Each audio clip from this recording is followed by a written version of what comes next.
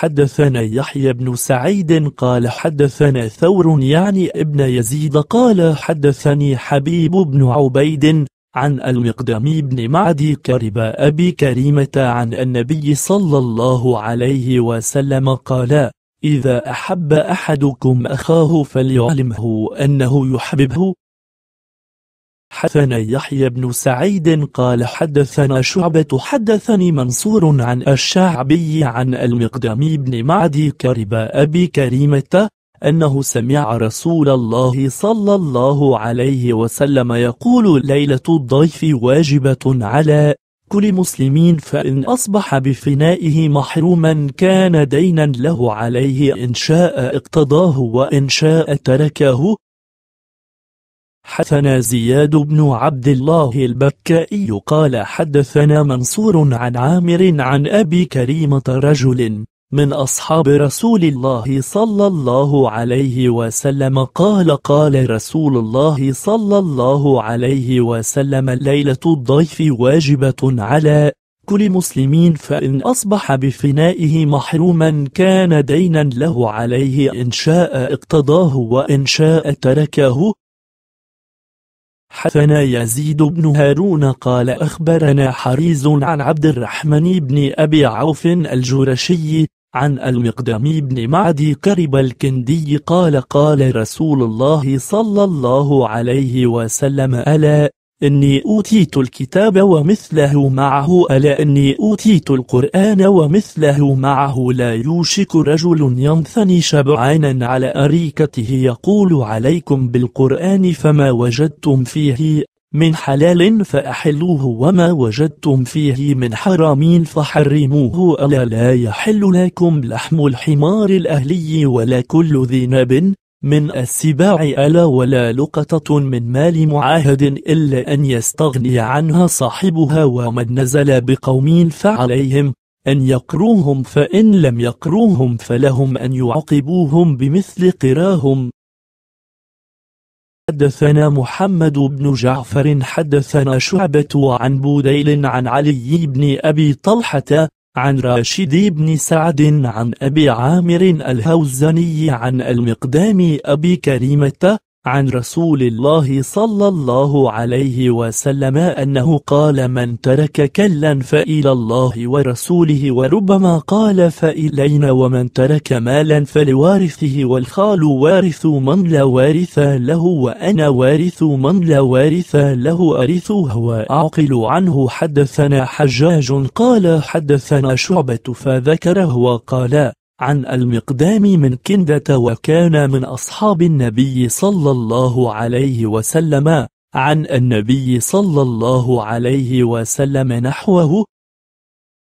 حثنا عبد الرحمن بن مهدي عن ابن المبارك عن ثور عن خالد بن معدان عن المقدم بن معدي كرب قال قال رسول الله صلى الله عليه وسلم كيلوا طعامكم يبارك لكم فيه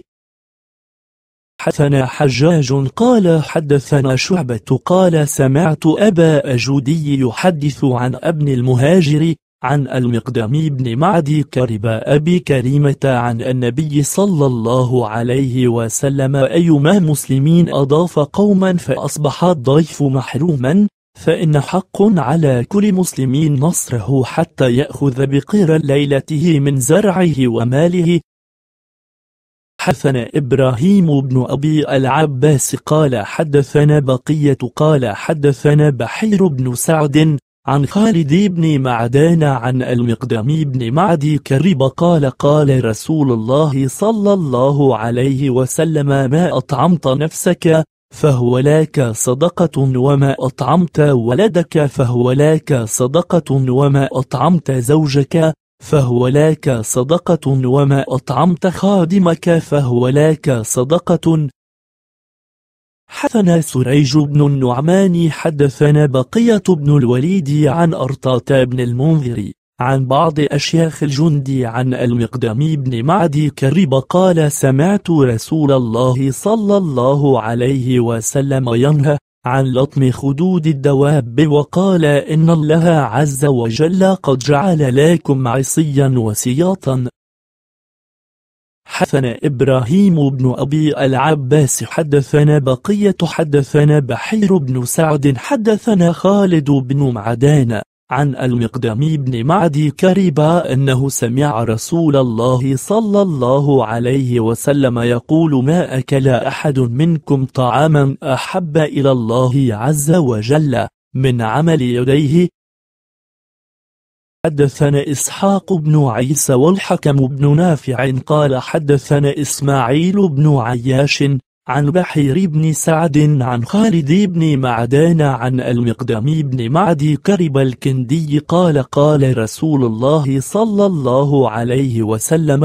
إن للشهيد عند الله عز وجل قال الحكم ست خصال أن يغفر له في أول ضفعة من دمه ويرى قال الحكم ويرى مقعده من الجنة ويحل حلة الإيمان ويزوج. من الحوار العين ويجرى من عذاب القبر ويئن من الفزع الأكبر. قال الحكم يوم الفزع الأكبر ويوضع على رأسه تاج الوقار الياقوتة منه خير من الدنيا وما فيها ويزوج اثنتين وسبعين زوجة من الحوار العين ويشفع في سبعين إنسانا من أقاربه. حدثنا الحكم بن نافع حدثنا ابن عياش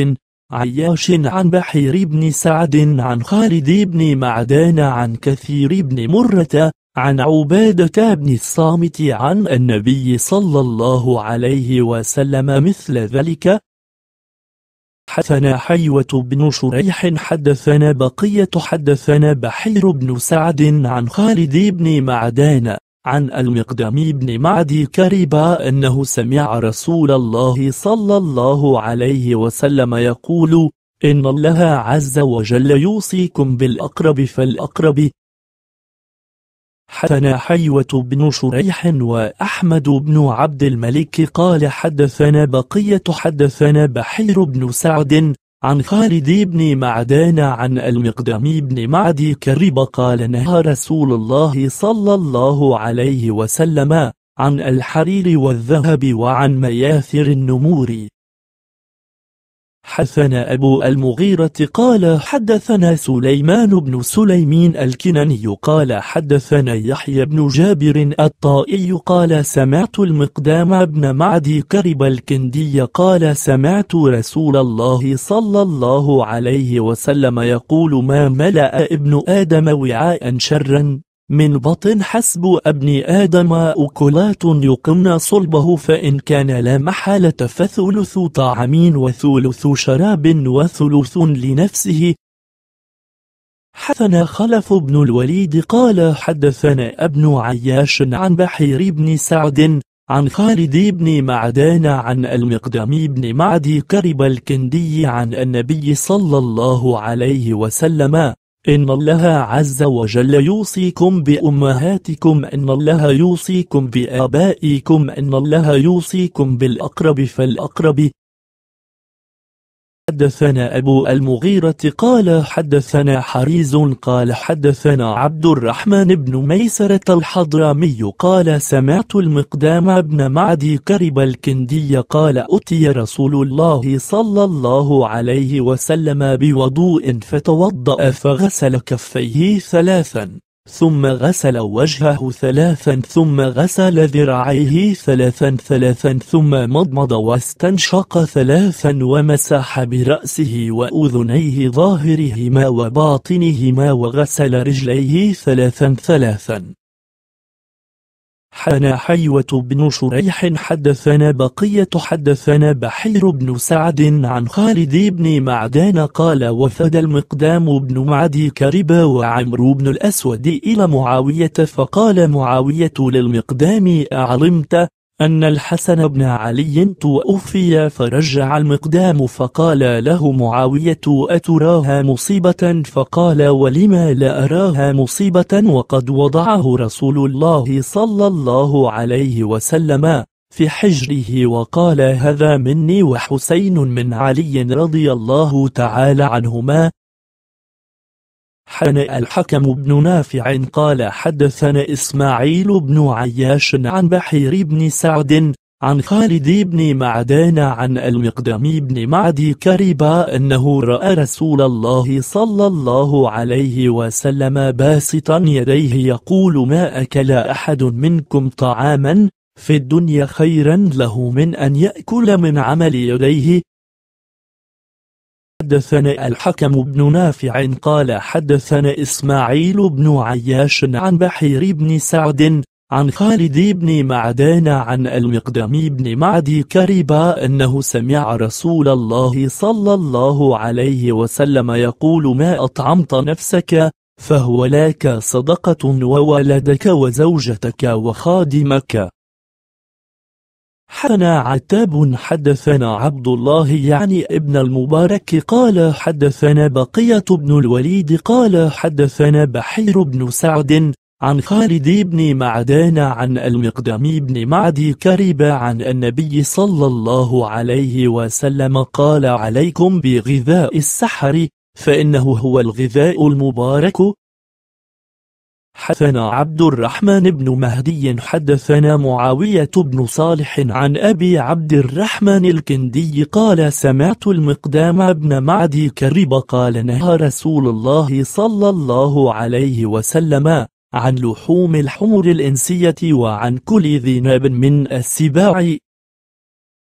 حدثنا عبد الرحمن وزيد بن حباب قال حدثنا معاوية بن صالح عن الحسن بن جابر قال زيد في حديثه حدثني الحسن بن جابر قال سمعت المقدام بن معدي كرب يقول حرم رسول الله صلى الله عليه وسلم يوم خيبر أشياء. ثم قال يوشك أحدكم أن يكذبان وهو متكئ على أريكته يحدث بحديث فيقول بيننا وبينكم كتاب الله فما وجدنا فيه من حلال أستحللناه وما وجدنا فيه من حرام حرمناه ألا وإنما حرم رسول الله صلى الله عليه وسلم مثل ما حرم الله حدثنا وكيع وأبو نعيم قال حدثنا سفيان عن منصور عن الشعبي عن المقدام أبي كريمة قال أبو نعيم المقدام أبو كريمة الشامي قال قال رسول الله صلى الله عليه وسلم ليلة الضيف قال أبو نعيم حق واجبة فإن أصبح بفنائه فهو دين عليه فإن شاء اقتضى وإن شاء ترك حدثنا محمد بن جعفر حدثنا شعبة قال سمعت منصورا يحدث عن الشعبي عن المقدام أبي كريمة أنه سمع رسول الله صلى الله عليه وسلم يقول على كل مسلمين ليلة الضيف حق واجبة فإن أصبح بفنائه فهو عليه دين إن شاء اقتضى وإن شاء ترك حدثنا محمد بن جعفر حدثنا شعبة قال سمعت أبا أجودي يحدث عن سعيد بن المهاجر عن المقدام أبي كريمة عن النبي صلى الله عليه وسلم أنه قال أيما مسلمين أضاف قوما فأصبح الضيف محروما فإن حق على كل مسلم نصره حتى يأخذ بقر الليلة ليلته من زرعه وماله. حدثنا عبد الصمد قال حدثنا شعبة قال أبو أجودي أخبرني أنه سمع سعيد بن المهاجر أنه سمع المقدام أن رسول الله صلى الله عليه وسلم يقول فذكر مثله حدثنا حماد بن خالد قال حدثنا معاوية بن صالح عن راشد بن سعد عن المقدم بن معدي كرب الكندي عن النبي صلى الله عليه وسلم أنه قال من ترك مالا فلورثته ومن ترك دينا أو ضيعة فإلي وأنا ولي من لا ولي له أفك عنه وهو أرث ماله والخال ولي من لا ولي له يفك عنه ويرث ماله حدثنا عبد الرحمن بن مهدي. عن معاوية بن صالح قال سمعت راشد بن سعد يحدث عن المقدم بن معدي كرب قال قال رسول الله صلى الله عليه وسلم فذكر مثله إلا أنه قال أفك عنوة حدثنا أبو اليمان قال حدثنا أبو بكر بن أبي مريم قال كانت لمقدام بن معدي كرب جارية طبيع اللبان ويقبض المقدام الثمن فقيل له سبحان الله أتبيع اللبان وتقبض الثمن؟ فقال نعم وما بأس بذلك سمعت رسول الله صلى الله عليه وسلم يقول ليأتين على الناس زمان لا ينفع فيه إلا الدينار والدرهم. حنا وكيع حدثنا سفيان عن منصور عن الشعبي عن المقدام. أبي كريمة قال قال رسول الله صلى الله عليه وسلم ليلة الضيف واجبات فإن أصبح بفنائه فهو دين له فإن شاء اقتضى وإن شاء ترك.